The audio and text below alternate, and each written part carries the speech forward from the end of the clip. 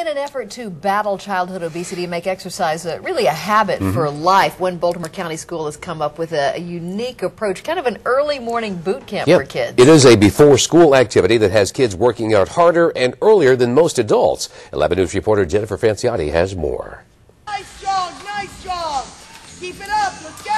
At Scotts Branch Elementary School in Randallstown, phys ed teacher Patrice Walker is like a military drill sergeant. The difference is these students are volunteers in her workout army.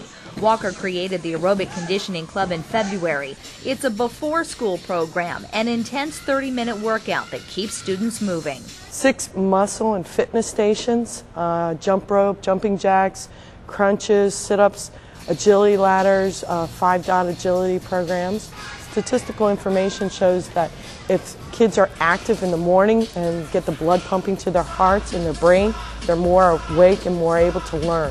All right, nine, ten, go to Dodge, go to Dodge. Kids are able to stop and get a break for water, and the program is monitored by the school nurse. She checks heart rates once a week.